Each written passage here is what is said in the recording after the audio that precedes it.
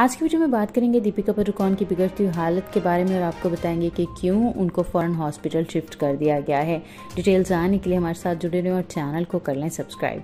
दोस्तों, आपको बताते चलें तो दीपिका पडुकोन जो बारहा अपने मुख्तलिफ़ इंटरव्यूज़ में इस चीज़ का एतराफ कर चुकी हैं कि वो डिप्रेशन की मरीजा हैं और डिप्रेशन को हैंडल करने के लिए इसकी मेडिसिन भी लेती हैं।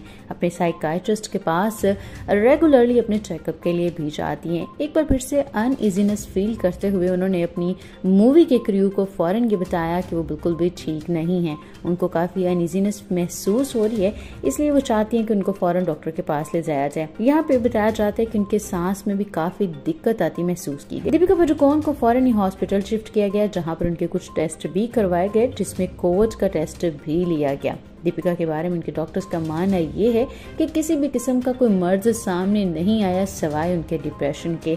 आजकल किसी न किसी बात की वजह से काफ़ी परेशान है दीपिका पडुकोन इसीलिए एक ही महीने में तीसरी बार पहुँच चुकी हैं हॉस्पिटल में। दोस्तों, अब ये तो दीपिका पडुकोन ही जानती है कि आखिर वो किस चीज़ की टेंशन ले रही हैं, लेकिन इससे पहले भी आपको बताते चले तो दीपिका अपनी मूवी की शूटिंग के दौरान इसी तरह की अनइजीनेस महसूस करते हुए अपने क्रू के लोगों को बता चुकी थी और उनको फॉरन हॉस्पिटल शिफ्ट किया गया था। जहाँ पर रणवीर सिंह फ़ौरन पहुँचे थे उनको लेने के लिए। वल एक बार फिर से उनकी बिगड़ती हालत की वजह से डॉक्टर्स ने उनको एक रोज के लिए हॉस्पिटल में रखा है। इसके बारे में जैसी कोई नई अपडेट निकलकर सामने आती है, हम आपके साथ ज़रूर शेयर करेंगे। तो बने रहिए हमारे साथ।